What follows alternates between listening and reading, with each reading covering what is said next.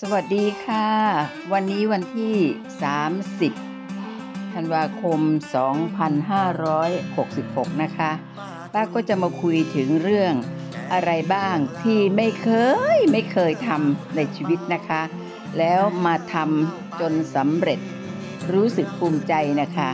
สิ่งแรกป้าเปิดมาก็มีดอกกุหลาบนะคะ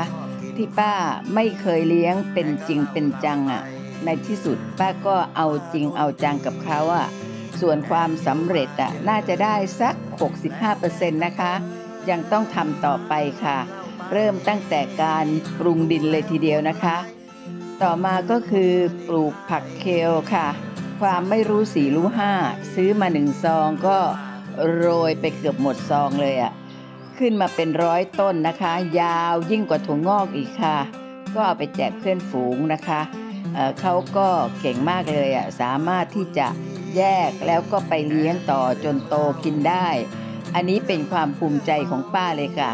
ป้าเหลืออยู่สักประมาณ4หรือ5ต้นอะป้าก็มาใช้ทำอาหารเช้า อันนี้ก็เป็นกุหลาบนะคะพริกค่ะพริกป้าซื้อมาจากตลาดไทยชื่อหอมสุพรรณหอมทั้งสุพรรณนะคะ เขาออกดอกแล้วค่ะ พริกเนี่ยป้าล้มลุกคลุกคลานกับการทดลองนะ บางทีออกดอกสะพรั่งอะป้าก็เอาอะไรรดเขาก็ตายไปต่อหน้าต่อตา อันนี้ได้ผลค่ะ ที่ป้าชี้นี่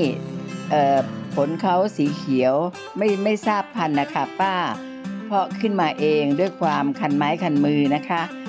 คาดว่าจะได้ผลน่ะ ป้าก็จะเด็ดใบล่างๆออก ให้เขาออก ดอกแล้วก็ติดต้นนะคะ อันนี้เป็นมะเขือเทศอะมะเขือเทศเนี่ยเห็นแม่ปลูก ตั้งแต่แม่ป้าเด็กๆอะแม่ก็สาดไปข้างๆรั้วบ้านนะ ก็ออกมาดกเชียวค่ะ แต่ทำไมสมัยป้าเนี่ยมันจึงยากเย็นอย่างนี้ก็ไม่รู้อะป้าเก็บมาจากร้านอาหารแล้วก็เพาะได้สีห้าต้นนะ ได้กินไปแล้วสองผลค่ะสองลูกนะทำส้มตำกินน่ะเอ่อ สิ่งที่ป้าภูมิใจต่อมาก็คือมะแว้งค่ะ